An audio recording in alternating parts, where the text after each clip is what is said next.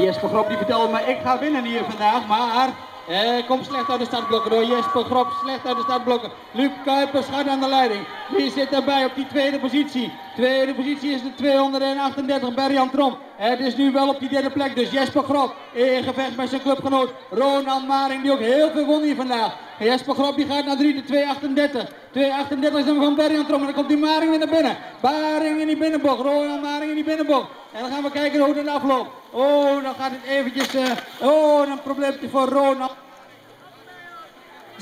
Gaat die aansluiting verliezen. Luc Kuipers onze koploper, dus hij gaat winnen hier. De 228 Berjan Trom. Hij wordt de nummer 2 en dan zit Jesper Grop op een derde positie bij de mannen van 8 jaar.